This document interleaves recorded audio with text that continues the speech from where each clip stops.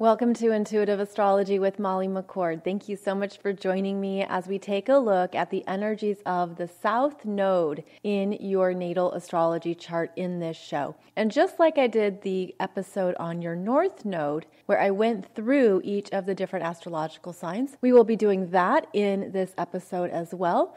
And I do recommend listening to both of these podcasts because they're going to help you put together some pieces that are vital to understanding what you're learning healing, and developing in this lifetime. I also strongly recommend the book Astrology for the Soul by Jan Spiller. She shares more about the specifics of your north node and what you're leaving behind. And what you're leaving behind is your south node energies. So it's a good way to get into these energies even more at a personal level. She also describes what it means when the nodes are in certain houses. So if your north node is in the second house and your south node is in the eighth house, you can read about those energies as well. And again, they help you put together the pieces of your natal astrology chart to really get into what this lifetime is about for you.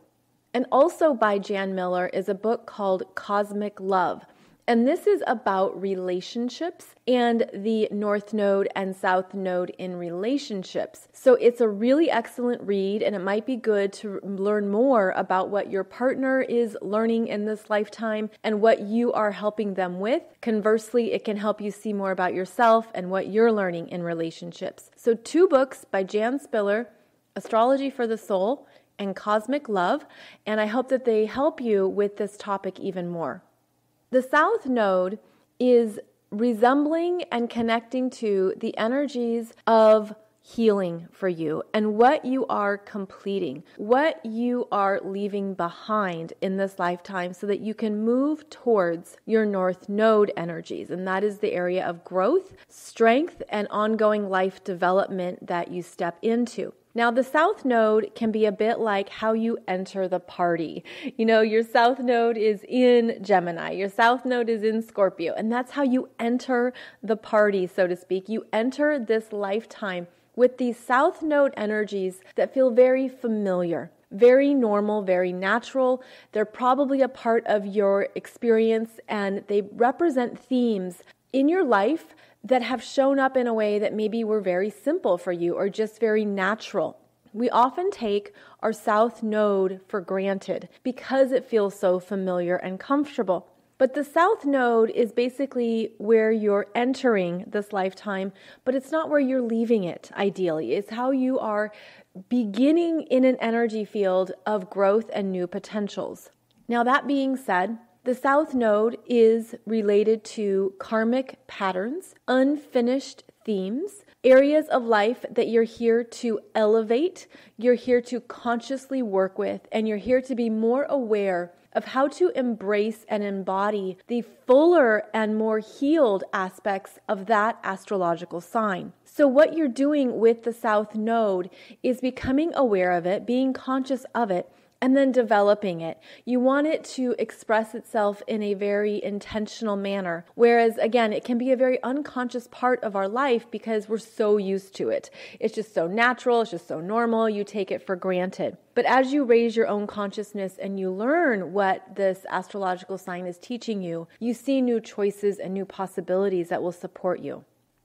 Now, before I go into each of the 12 astrological signs and what they mean when they are in the South Node, I want to address a few other things that often come up. Now, in your South Node, you might have a planet that is conjunct your South Node. Your Venus is conjunct your South Node, your Saturn, Pluto, Moon, any astrological planet could be conjunct this south node. And it represents and shows energies that you have traveled with in other lifetimes. It shows you more about how you're here to work with that south node. So let's say Venus is conjunct your south node. You would then look at the energy of Venus overall, relationships, money, love, how you receive your feminine energies, and how that would be strongly connected to the south node energies and that that Venus is going to bring in people who probably feel very familiar and karmic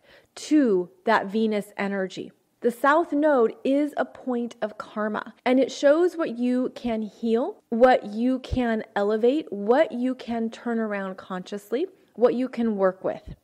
It can also show you what you are releasing in this lifetime. So, Venus conjunct the South Node would be releasing relationship patterns that really don't take you where you want to go, which would be your North Node energy. It could be that you then have a lot of relationships that show up that teach you about this Venus connect conjunct the south node. So that planet is a messenger. And that planet has big information for you about what you are letting go of and completing in this lifetime. Now, that would mean the cycle of energies that are unconscious with this Venus would be released and have the potential to be elevated. That does not mean you won't have a good relationship or a healthy relationship. It just means that Venus is giving you information about your soul's growth in this lifetime and that you're completing some relationship energies, some financial energies, some expressions of your feminine energies that you're meant to be aware of and look at how you can express them in the higher octaves of that astrological sign. And to be truthful, it could then be harder at times to grow away from that south node if you have a planet conjunct it, because that planet's going to keep getting your attention in that astrological sign. But again, the way you work with it is that every astrological sign has a spectrum. And so you want to be aware of the energies that you are expressing in that astrological sign. Are you expressing the lower vibrational energies or the higher vibrational energies of that astrological sign? And there's so many combinations, there's so many expressions and potentials that I'm just being very brief in explaining this. But that's why it's always beneficial to go into the specialized books that tell you more about the South Node and also to understand more of what that particular planet is showing you. It's also revealing where the energies are incomplete and you could have an opportunity in this lifetime to essentially graduate. So that Venus conjunct the South Node could graduate and grow through relationships as she becomes more conscious of herself, of her self love, her self value, her self worth. So there's always potential for growth, but with that south node, there's something we have to let go of. We have to let go of a lower energy, a lower level of consciousness, or anything that has held us back that we don't want to carry forward. Anything that's self defeating as well, or a limitation. Now, as I go through each of these 12 astrological signs, I'm going to focus on the lower expressions that you're meant to leave behind. The parts of yourself that maybe you weren't aware of, that were unconscious, where you were operating just because it felt natural, it felt normal, but it really isn't supportive of what you're developing and growing in this lifetime. So, the South Node is a gift in many ways because it reveals to us what we maybe didn't see, maybe what we weren't aware of, the patterns that we haven't been able to acknowledge in ourselves.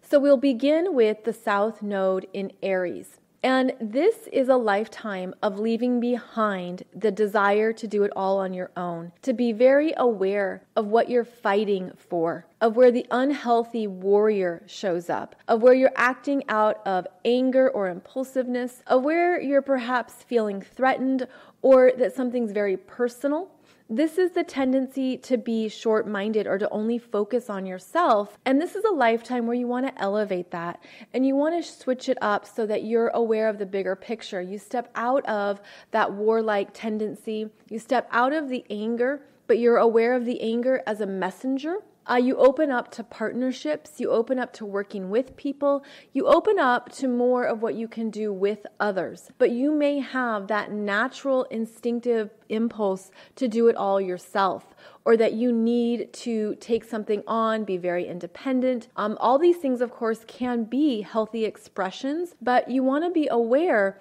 of where that Aries energy is holding you back in relationships, where it's holding you back from your ability to connect with others. You don't have to be overly independent or overly active. So that's part of the South Node in Aries is looking at what you're releasing in those lower domains of Aries energy. The South Node in Taurus is here to evaluate the role of money, security, and self reliance. You're looking at how these energies serve you. They have a purpose, they fulfill a need, but that you don't want to get overly focused on accumulation. You don't want to get stuck in a certain place. You don't want to resist the flows of life. And you're opening up to the fact that you can trust other people. You can work with them. You can have the same values as them. And you don't have to do it all on your own. There is the tendency with this South Node in Taurus to be overly focused on what you own, on what you have accumulated, on where you need security. But it also reveals where you're not trusting yourself in a bigger way and you're not trusting where you can be supported. So, that South Node in Taurus is knowing that it doesn't have to do everything on its own. There are people you can work with, and there are other resources and opportunities available to you when you let go of the reins, you're not overly controlling, and you open up to trusting a bit more. The South Node in Gemini is leaving behind an overactive mind feeling indecisive, feeling like you have to think it through before you take action. You're looking at how much emphasis you put on your thoughts and how that has prevented you from living or having experiences. How you're ready to take a risk and step out of the mind and do something. There's also the need to look at the power of your words and where you have perhaps unconscious thoughts or lower level messages that you could elevate. What is more inspiring or supportive of you? Where have you perhaps been too stuck in a mental wheel? And you want to step into the process of life trusting life, trusting where you can go, what you can learn, to stay open minded and to know that not everything is perhaps linear or a fact or data or something small. The Gemini energy can focus on the particulars, and this is opening you up to a bigger worldview, to greater understandings of learning and all the things you can learn about. So there is an opening energy here that the Gemini South Node is being invited to learn in this lifetime. The South Node in Cancer is learning how to not be bogged down by emotions and feelings, learning how to feel stronger in oneself and to move with the tides, to allow the energies to shift you and change you in a way that is natural without a intense reaction or anything that comes out or across to others. This is the South Node that wants security and family, feels good at home, feels good with items of comfort, and all of that is probably a requirement in your life, but you're also learning that you can do things on your own and that you can step out of your home, step away from the family. You don't have to be the caretaker. You don't have to do everything for everyone, whether that is providing for everyone or uh, at the expense of yourself, really. So there's a strengthening energy here with that South Node in Cancer to look at how you can feel good in yourself, feel strong in yourself, have things that you want to achieve, that you want to, that you desire, that you're worthy of, that aren't dependent upon your immediate environment or the people around you. The South Node in Leo is learning how to interact with more individuals and to use the strength of taking a risk and bringing that out into the world, taking the risk to be seen, taking the risk to connect, stepping into new friendships and new ways of working with ideas. It's like taking those things that really inspire you and putting them to use. The South Node in Leo can be very stubborn and want to do something its own way. It wants to be in charge. It is a leader. It wants to do what will bring it recognition. And what you're learning is to release these parts of your ego, to release that need for approval because it's going to hold you back in this lifetime. You're meant to go your own path, go your own route. You're meant to do things in a new and unique way. And you're meant to be aware of other people, of how you interact with others, of the world at large, um, and how to, again, follow your heart, but to do it in a way that allows you to connect with new friends. Like this could be a lifetime of really connecting with new people, new friendships, new groups, new new individuals that actually have more to share with you or to teach you. So the north the south node in Leo is showing you more about the strength that you came in with but to give yourself greater freedom and to move about in the world in a way that supports traveling with your power.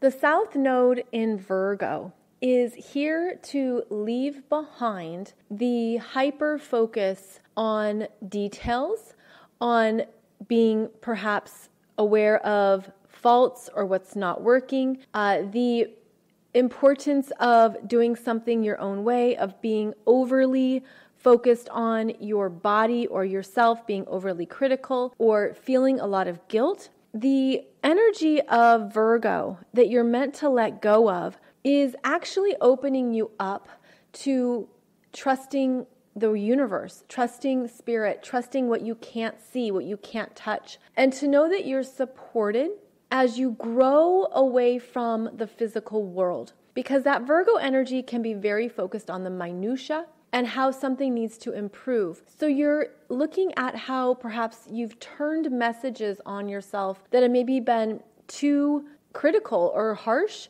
um, to ensure that you can see everything as perfect as is and that you don't have to improve everything. You don't have to fix everything. You don't have to do everything for everyone. Instead, what you're doing is detaching. And that South Node in Virgo is learning to detach from being the super fixer or the improver. And you're learning to trust, you're learning to release, and you're balancing the fact that you don't have to control everything for it to work properly. The South Node in Libra is revealing to you where you don't have to overly compromise in relationships or for other people. The Libra energy really wants peace and equality, wants everyone to get along. But this is a lifetime of stepping into your self assertion, how you're here to be an individual, how you don't have to take care of other people's things like their thoughts or their needs. You don't have to be overly concerned with what other people think. That South Node in Libra can go into comparison and evaluate oneself based on others. But you're learning how to stand strong in yourself. You're learning how to be your own individual energy without it mattering who you are to others you're looking at how you can be independent, how you can be very aware of yourself and develop the strength to be that individual and step away from relationships and partnerships or any type of sharing that actually limits you. And so your relationships are going to show you what is really you and what is not you, and going to reflect back or even mirror back to you where something is unhealthy because it feels uncomfortable. So you're looking at where you need to let go of codependence and where you're here to be independent. The South Node in Scorpio is here to learn from emotional intensities, the feelings that come up, the experiences that you have that are asking you to go deeper into what you feel and what you're getting in terms of a reaction, but it's asking you to balance it with something very solid and grounding, to not go into obsessive compulsive or power control tendencies, that South Node in Scorpio is here to step away from other people's energies and to assert itself and ground itself in the strength of what you value. in the strength of what matters to you. So you're learning how to not put as much emphasis on other people, whether that is their needs, their emotions, or what you've experienced with them energetically. You're here to step away from that and to be very grounded and clear in what you need, what matters to you, what supports you and to not overly focus on other people in general, to pull your energy away, to pull your energy out of them, and to feel like you're this very strong oak tree and that you can handle life on your own terms. And this is an, a lifetime of establishing what matters to you, of really seeing how you're here to be more self reliant and that you can trust yourself more than ever when you balance any kinds of overreactions with something clear, grounded, and strong. The South Node in Sagittarius is here to be very aware of the assumptions you make, of the knowledge you're operating from, and the belief systems that have created your life experience so far. That South Node in Sagittarius is teaching you what is actually complete for you, what is no longer easy or interesting. It's showing you where perhaps you took something for granted or where you came in feeling that you had a lot of answers, a lot of information. Um, this is where the know it all the unconscious know it all can show up. It can show up as very righteous behavior as well. So, you want to self assess how you share and communicate your beliefs, your philosophies, your ideas, and you want to learn how to stay open to different opinions, different facts, different information that can come in. You want to be curious and you want to really go into logic more so than simple opinions or a simple understanding of what it means to be right. And to be sure that you're really listening. Be sure that you're open to your own intuition in a healthy manner and that you are open to the fact that there's going to be a lot of conversations in the world and in your life that are going to get you thinking differently. And so the South Node in Sagittarius is to be very aware of what it has assumed or taken for granted or what it believed to be uh, the truth and to really stay open and to get into conversations with others as well as go into your own mind to really sit with something and explore it internally. The South Node in Capricorn is here to understand how you are a sovereign being, as is everyone else. And yet, you're not responsible for everything. You are not the one who has to run the show or take control or take over. You're learning how to step back. You're learning how to listen to your feelings in this lifetime, to step into more of what something feels like rather than what you need to produce this is often a hard worker, someone who comes in thinking they have to accomplish a lot, need to get a lot done, um, need to be very uh, perhaps public or very accomplished in their career, in their world, in their family. There's a sense of what you want to do and produce. But this is a lifetime to leave behind that overproduction, to leave behind that sense of being really committed to something that actually isn't for you. You're instead stepping into what is true for you internally. This is more of an internally focused development. It's looking at how you can be there for others, how you can support them, and how you can listen to your own feelings. So, this is where you're balancing yourself and understanding that there's power within.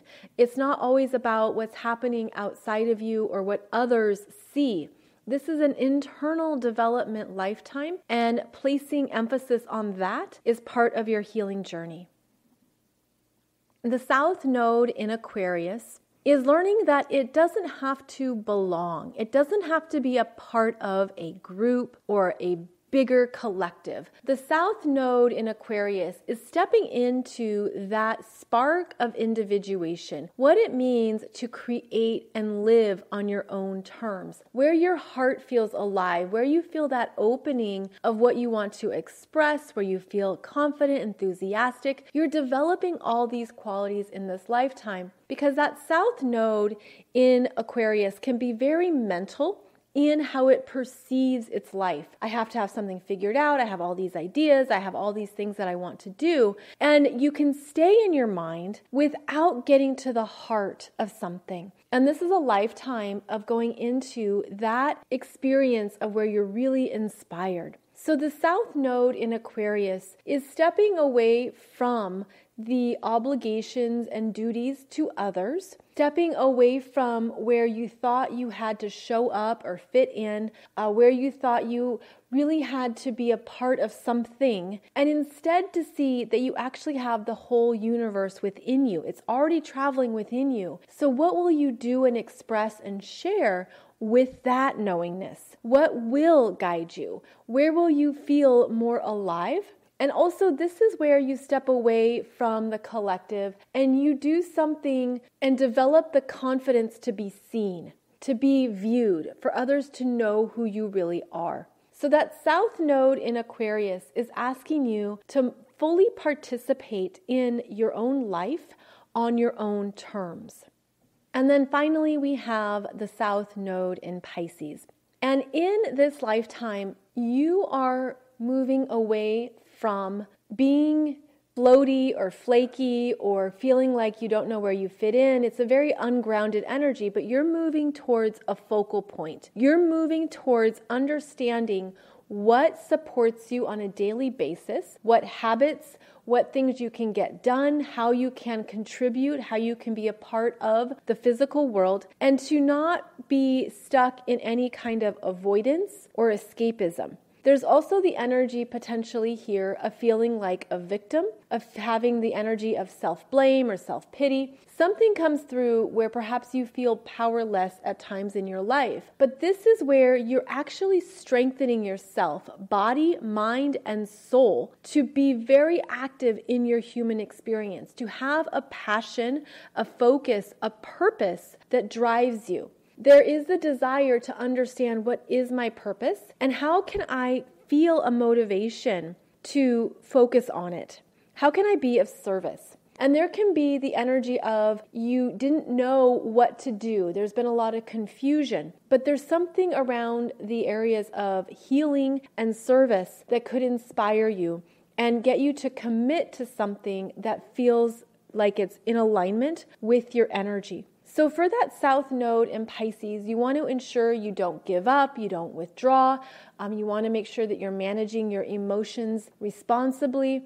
And then you also want to really get clear on what you can do every day to support your body, to support your needs, and to give you a sense of purpose. So, those are the energies of each south node. And for those of you who want to go further into this energy, not only are you looking at your astrological sign, but then you want to look at the house that your south node is in. And that is the area of life where this energy is most likely to show up. And that also helps you understand how you are elevating and consciously developing energies in that part of your life.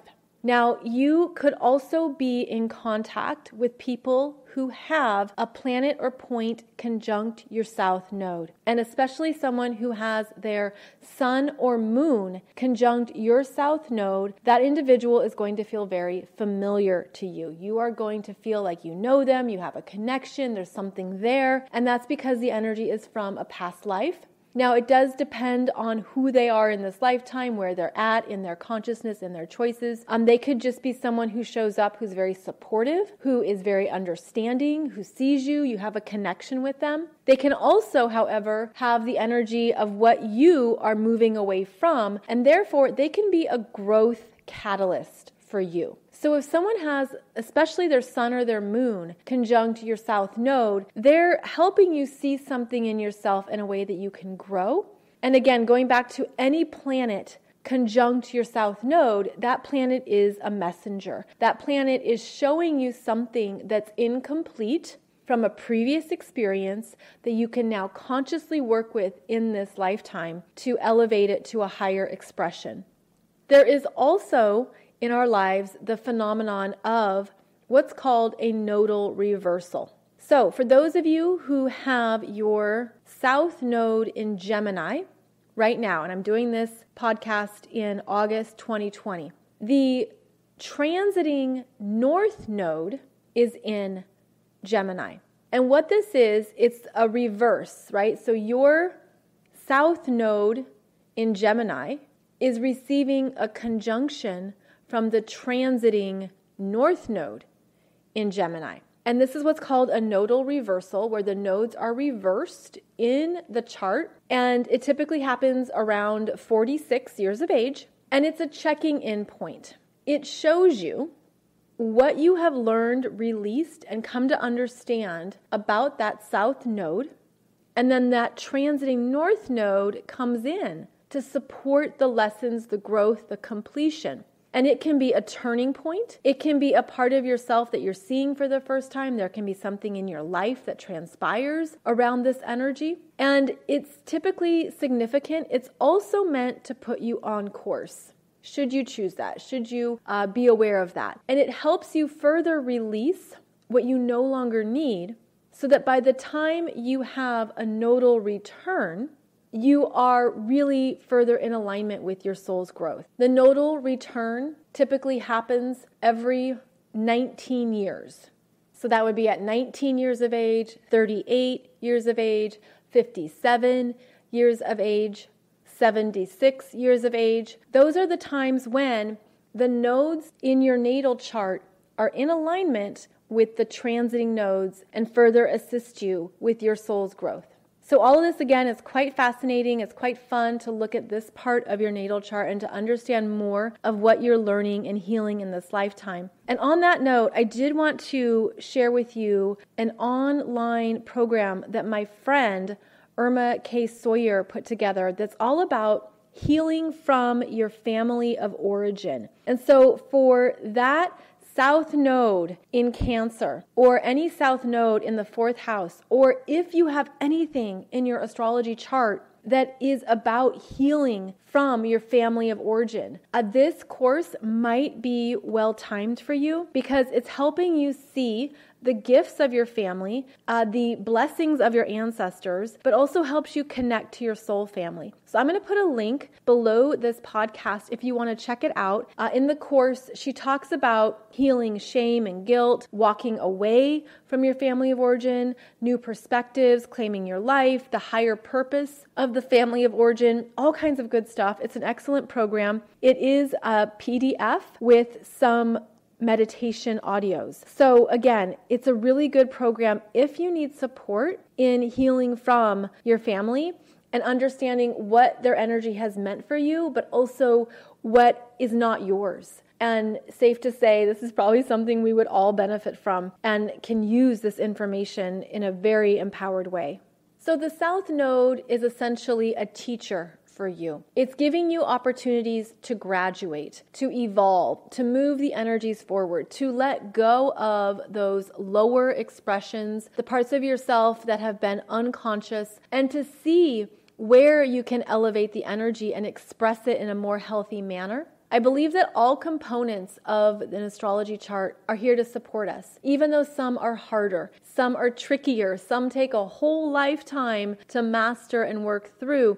They're all components of you. They're all meant to be seen and worked with in a very loving, compassionate manner. Otherwise, we start working against ourselves, and that can only set us back. So, I hope this episode helped you connect some dots and see some things more clearly in yourself. And then please listen to the episode on the North Node soul growth, as that will also help put the pieces together. Thank you so much for joining me. I appreciate your time, energy, and presence. You can learn more about me over at mollymccord.online, where you will find my current astrology programs and classes, as well as business development resources and teachings to help you with your soul mission work in the world. I look forward to seeing you back here soon for our next podcast. And in the meantime, I wish you a beautiful day ahead.